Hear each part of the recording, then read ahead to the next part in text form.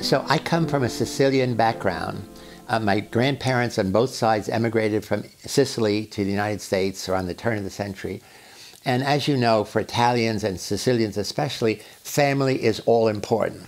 Family is the key structure uh, around which you organize your life. Uh, and so, really, what I think in business, a good leader uh, in any business creates a sense of family. That is, people get dedicated to the family.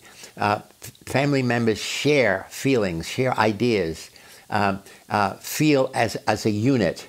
Uh, and um, I think this message uh, is one that I think is really critical in businesses around the world.